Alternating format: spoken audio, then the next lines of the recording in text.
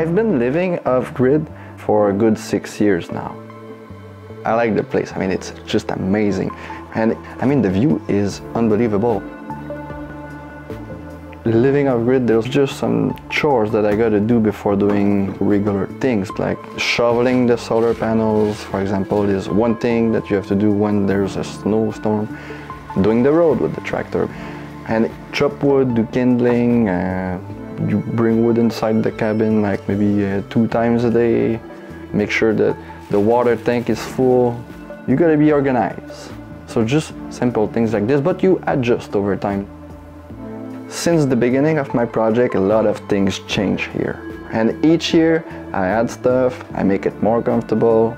I've upgraded my solar setup, I've upgraded my rain catchment system, I've rebuilt my bathroom about three times.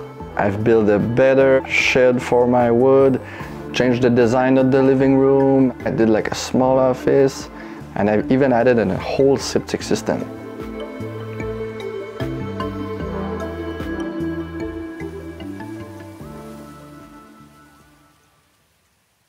I had no skills. Eh? When I started this place, I literally bought like an handsaw and then I was like, okay, I think I'm gonna need more tools. So I started to look at like YouTube video and I asked people how to build stuff and I even asked for help at some point on the process. The framing has been done with two of my friends with our professional framers. Of good living, you gotta be like curious. You gotta, you gotta like to work with your hands people ask me sometimes, uh, where do you get a land? Like, I would like to be off-grid, but where is it possible to do it? Where do you like find a land, for example? Uh, here we're like in Canada. The land that I have right now, it's a residential lot. I'm 10 minutes away from a village. I can build a house on it like everyone else can around me. Uh, the only reason I'm off-grid is because Hydro-Quebec was not like in the area. Hydro-Quebec is our grid this is the provider of electricity. Now it's getting closer and closer, but still we can choose if we want to be plugged on it or not. So when I started to build, I asked for a building permit and uh, I couldn't get it because there was no road. I started to build without even getting the permit because I was like, I'm gonna build my driveway, after that it's gonna be fine. And then when the inspector came, he said like, okay, but then you have to do that and do this and do that. So to regulate my situation, at the end it cost more money because I had to build a regular septic system. The reason why I started it, because I had no money and I thought it would be cheaper, but in fact it's quite more expensive. So the cost in order, the land I got it for $10,000. Now it's impossible. The land around me, they're for sale. It's over like 200,000 for one acre which is like completely insane. And then when I built the cabin, it cost me $40,000 for the framing. And then I added stuff over years. So the project initially was like around 64,000. It's all in Canadian dollar. But that was like a very rustic and rudimentary cabin. So I added things and like just the septic was over like 40 grand. So now I calculate with like the lithium batteries, the new solar, and the big watershed like the just the plastic tank was four thousand dollar you, can't dig a well for four thousand dollar but like i mean it's quite expensive. So say you add things it goes quick. Now i calculate the project at around 175,000 canadian dollars.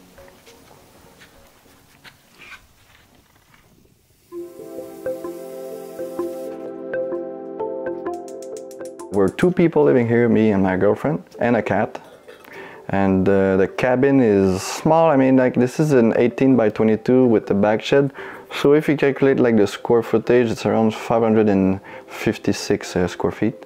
It looks kind of bigger because like there's a two loft. There's like the main loft and then there's another loft where the bed is uh, located.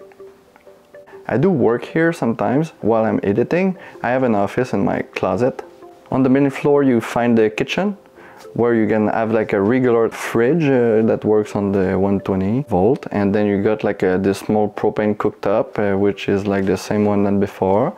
After that you got like the wood stove which is like the primary uh, heating uh, system.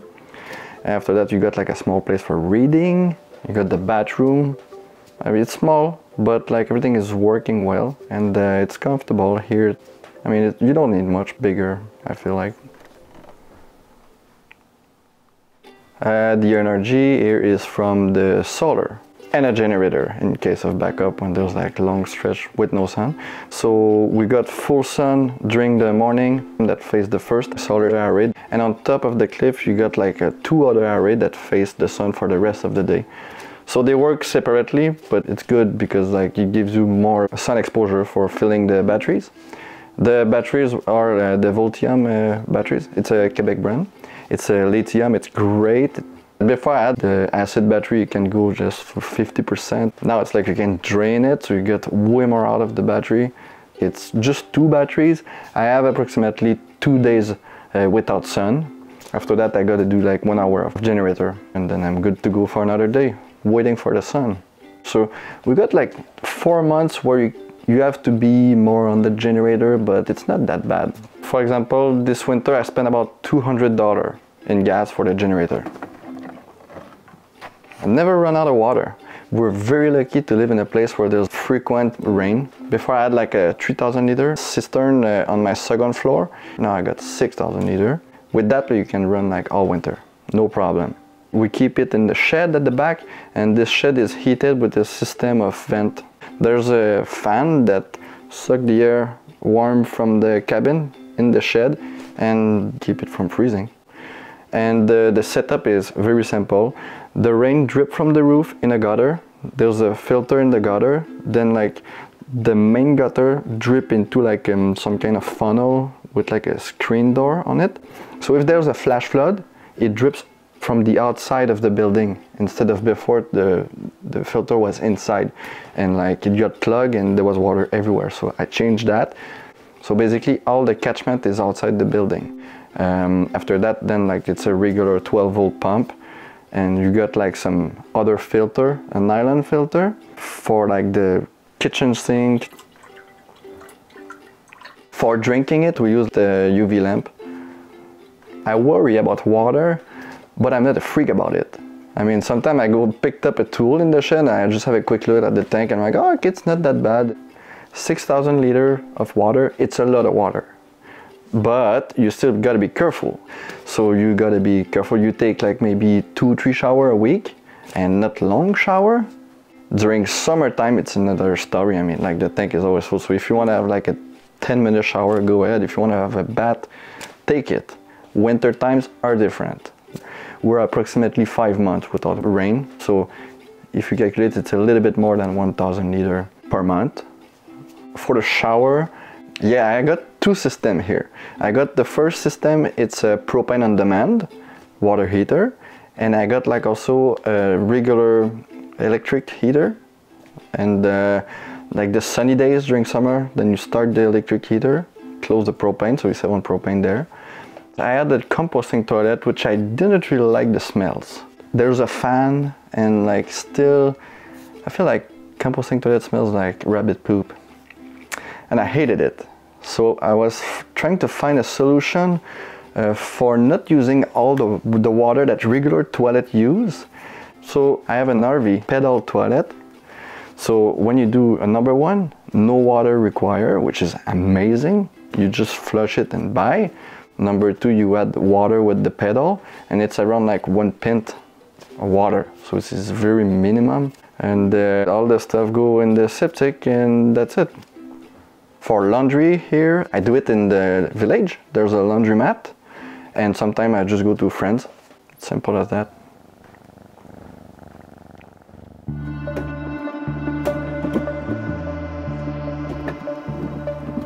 Living off-grid, you gotta be aware of the forecast. For just the sun, the weather, is it going to be cold? Is it going to be warm? All those things, like you're super aware of your environment. I basically do two fire per day, one in the morning, one at night, and then I have to wake up in the middle of the night to throw some more logs, but that's about it. Well, it depends how cold is the winter, but I use around six to seven face cord of wood during winter, and sometimes it's even less. So the material elevator, which I bring my wood with, um, I can't use it during winter. So for example, I gotta bring wood up before like it starts freezing out there. There's also another thing is the, the solar passive. If it's a sunny day outside, the house faces south, so you get like directly heat from the sun. It's quite comfortable. People they're like, why don't you use like those Martin propane? It's direct vent, it's in the wall. But the thing is the propane. See? It's not like a cheap thing to buy. Now I use like uh, the barbecue propane tank to run the water heater and the small cooktop, so it's very minimal. But like if I start heating with that, it's gonna be expensive. So that's why I wanted to stay with the wood. Plus the wood here, it's everywhere. Because I work here, I need internet and it's uh, Starlink. It takes lots of power though. So when you use it, you plug it and when you don't use it, you unplug it. Uh, what I do for living, I'm a freelance filmmaker. Uh, having like the opportunity to uh, manage my schedule, uh, it's a great thing. You can go see my YouTube channel. I don't use it that much anymore, uh, but I was like showing what I do.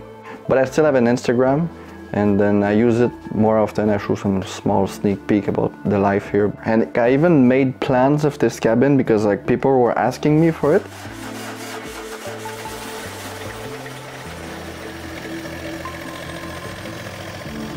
I feel sometimes like I would like to have a good backup like Hydro-Quebec, just for the simple reason that this place can freeze during winter. Like if I go filming a project, uh, I would like to keep the house warm at a certain level. It's quite limiting to be off-grid. Like I couldn't leave this place for one week. The people have to come here. Uh, my neighbors, for example, shovel the panel for me, and do like fire every day. So just to avoid all that, I would get plugged on Hydro-Quebec. But on the other hand, I think it's cool to be completely off-grid still, but it's limiting. So it depends what you want to do with your life.